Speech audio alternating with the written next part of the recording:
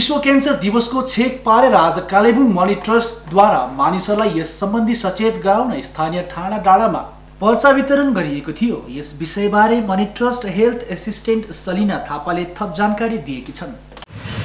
आज चार फेब्रुअरी दुई हजार बिसको दिन है वर्ल्ड क्यान्सर डे आज मनाइन्छ विश्वभरि नै अनि मनी ट्रस्टले पनि है योपालि वर्ल्ड क्यान्सर डेमा चाहिँ यो अवेरनेस प्रोग्रामहरू गरिरहेको छ हो। अनि यो यहाँ कालिम्पोङमा चाहिँ आज हामीले प्याम्प्लेट्स बाँड्यौँ बाँड्न गयौँ है बाड बाँडिरहेका छौँ।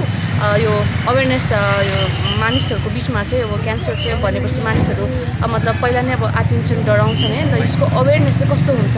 अब मतलब कसरी बस्नुपर्ने हो भनेर चाहिँ हामीले चाहिँ यो जागरुक जागरुकताको लागि चाहिँ हामीले यो प्याम्प्लेट्स बाँडिरहेका छौँ। अनि आजको दिनमा चाहिँ दार्जिलिङ डिस्ट्रिक्ट तकबरमा चाहिँ हाम्रो यो के भन्छ क्यान्सर अवेरनेस प्रोग्राम चाहिँ भइरहेको छ है। हाम्रो हेल्थको टिमहरू चेयरमेन सरहरू उहाँ गएर चाहिँ है त्यहाँको तकबरको मानिसहरूको बिचमा चाहिँ डक्टरहरूको साथमा स्पेसलिस्टको साथमा चाहिँ अवेरनेस क्याम्प त्यहाँ अर्गनाइज गरिरहेको छौँ है।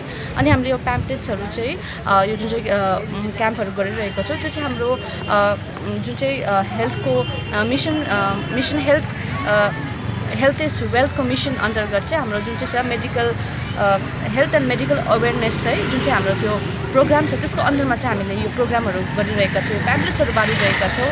र कालिम्पोङमा मात्र होइन है प्याम्प्लेट्स बाँडिने चाहिँ दार्जिलिङमा क्याम्प भइरहेको छ टकबरमा साथै दार्जिलिङमा चाहिँ टाउन एरियामा चाहिँ यो प्याम्प्लेट्स बाँड बाँड्ने कार्यक्रम भइरहेको छ। साथै कर्सियङमा पनि यो प्याम्प्लेट्सहरू बाँडिरहेको छ। मिरिकमा भयो है। कालचिनी मटेली है तपाईँको बिरपाडा जयगाउँ झोलुङ को ठाउँहरूमा पनि है यो प्याम्प्लेट्स बाँड्ने कार्यक्रम भइरहेको छ आजको दिनमा र प्याम्प्लेट्स चाहिँ हामीले चाहिँ अब इङ्ग्लिस र नेपाली दुइटामै नै छापेको छौँ है। मानिसहरूलाई चाहिँ अब बुझ्न सजिलो होस् भनेर र मानिसहरूले चाहिँ बुझेर चाहिँ अब मतलब उनीहरूको माझमा जुन चाहिँ हाम्रो कोसिस छ है यो के भन्छ अवेरनेस फैलाउने क्यान्सरको विषय लिएर चाहिँ मतलब कसरी अवेर बस्ने है।